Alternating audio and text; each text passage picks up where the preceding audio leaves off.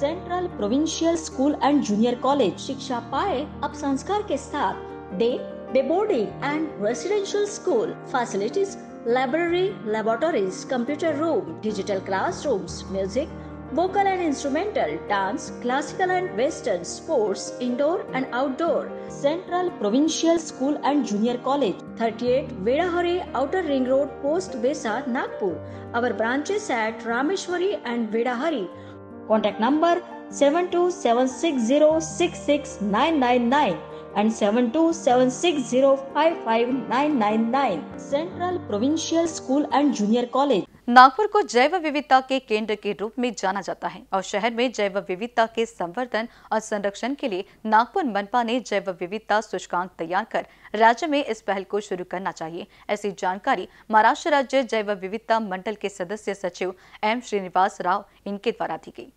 City को जैव विविधता के केंद्र के रूप में जाना जाता है। शहर में जैव विविधता, संवर्धन और संरक्षण के लिए नागपुर महानगर पालिका ने जैव विविधता सूचकांक बनाकर राज्य में इस पहल को शुरू करना चाहिए। प्रधान मुख्य वन संरक्षक, वन बल प्रमुख शैलेश टेम्भुनिकर ने आशा व्यक्त की कि नागपुर ज़िले में विभिन्न तालाबों की पहचान की जानी चाहिए और जैव विविधता के संरक्षण की दिशा में कार्य किया जाना चाहिए। बुधवार को अंतर्राष्ट्रीय जैव विविधता दिवस के अवसर पर महाराष्ट्र राज्य जैव विविधता मंडल द्वारा चिटनवीस सेंटर में टेमरिन सभागृह में आयोजित राज्य स्तरीय कार्यशाला के उद्घाटन पर टेम्पुनिकर ने उपस्थित व्यक्तियों का मार्गदर्शन किया।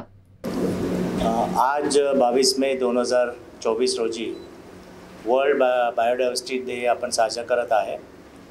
आणि आजचा जे मुख्य उद्देश आहे be a part of plan म्हणजे जे जे आपल्याला रिकव्हरी करायचं जे बायोडायव्हर्सिटीचं नुकसान झालेलं आहे, ते रिकवर करायचं एक coming Montreal global biodiversity framework म्हणजे मॉन्ट्रियल इथे एक कॉन्फरन्स ऑफ़ पार्टीमध्ये असा आला.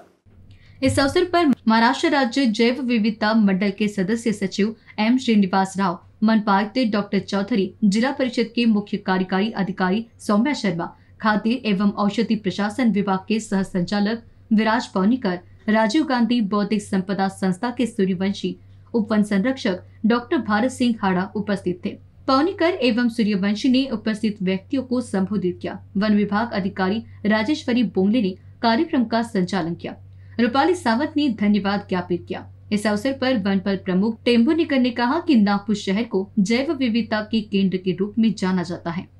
तीस टक्के ज़मीन, जमिनीचे संरक्षण, समुद्र, आणि जे इनलँड वॉटर जसे नदी आणि याच्यामध्ये जे पाणी असं तीस टक्के. दुसरं तीस टक्के जे डिग्रेडेड इकोसिस्टम म्हणतो म्हणजे जे खराब झालेलं आपलं जे इकोसिस्टम्स आहे ते त्याचं रिस्टोरेशन करायचे. आणि दुसरं इन्व्हेसिव्ह स्पीशीज आपण बरेचदा ऐकलं असेल की लंटाना आणि असं काही स्पीशीज म्हणजे आपण जसे शेतामध्ये म्हणतात ना आपलं वीड्स तसं काही स्पीशीज आहे या स्पीशीजचं प्रमाण जास्त वाढत आहे हे कमी करणे. असं तीन ध्येय आहे. हे दोन हज़ार तीसपर्यंत आपल्याला ते पूर्ण करायचे आहे. जैव विविधता के संरक्षण के लिए राज्य जैव विविधता मंडल की पहल के तहत मनपा के माध्यम से शहरी जैव विविधता सूचकांक तैयार कर प्रदेश में यह पहल शुरू की जानी चाहिए। टेम्बोरिकर ने उम्मीद जताई है कि जिला परिषद तालाबों के पास जैव विविधता के संरक्षण के लिए वन विभाग के साथ समन्वय में काम करेगी। आज एक महत्त्वाचं आम्ही लेक्चर ठेवलं होतं मधमाशावर नव्वद टक्के भारतामध्ये जे मधमाशाचे कल्टिवेशन ते एपिस मेल्लिफरा आहे. आणि मेल्लिफरा हे युरोपियन बी आहे. आणि आपलंही स्थानिक काही मधमाशे आहेत त्याच्यावर लक्ष दिलं नव्हतं. तर नागपूरमध्ये योगायोगाने इस्लॉफ कॉलेजचे एक प्रोफेसर आहे ज्या डॉक्टर झा म्हणून. त्यांनी खूप काम केलेलं आहे. तर त्याचे आम्ही इथे थोडा प्रयत्न केला की प्रचार केलेला आहे. की त्या मधमासे पण त्यांनी असं आज बोलले की त्याच्या जे रॉयल जेली म्हणतो जे फक्त राणी मासे मासे याच्या कॉलनीमध्ये तीन प्रकारचे हनी बीज आहे. एक वर्कर म्हणतो मग ड्रोन आणि तिसरं क्वीन राणी. आणि राणीला जे फ़ीड करतात जेवण त्याला रॉयल जेली म्हणतो. आणि हे म्हणत सांगत होते की पन्नास हज़ार रुपये के जी आहे. सिटी को जैव विविधता के केंद्र के रूप में जाना जाता है। शहर में जैव विविधता संवर्धन और संरक्षण के लिए नागपुर महानगर पालिका ने जैव विविधता सूचकांक बनाकर राज्य में इस पहल को शुरू करना चाहिए। कैमरा पर्सन राजकुमार बोहट के साथ क्षितिजा देशमुख की रिपोर्ट।